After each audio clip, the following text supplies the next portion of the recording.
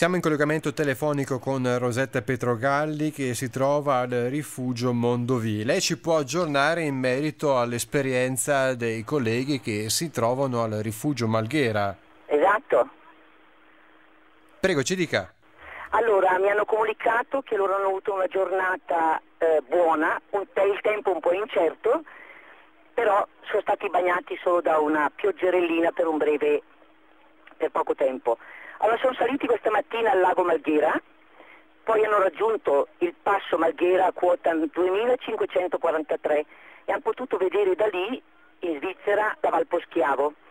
Al ritorno si sono fermati poi al lago Marghera e lì hanno pranzato e hanno passato un po' di tempo giocando, giochi organizzati per gruppi.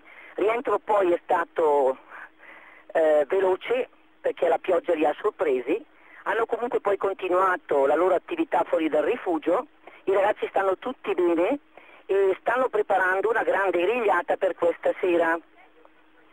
Questo è tutto quanto dovevo dire, stanno tutti bene, grandi e piccoli.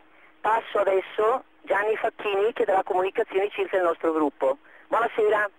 Ecco, buonasera, sono Gianni Facchini.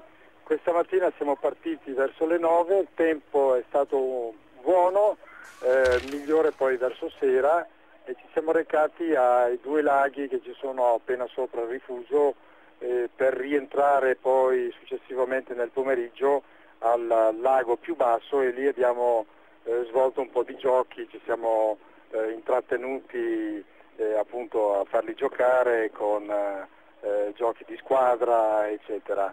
Adesso siamo appena rientrati eh, un po' stanchi ma tutti contenti e tutti entusiasti anche perché abbiamo come ospite una eh, botanica ed un geologo che ci spiegheranno un po' la geologia della zona e tutta la flora e la fauna che possiamo incontrare e che abbiamo incontrato in questi giorni.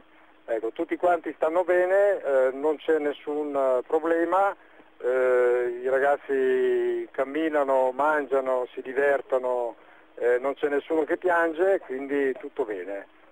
Eh, saluto a tutti e buona serata.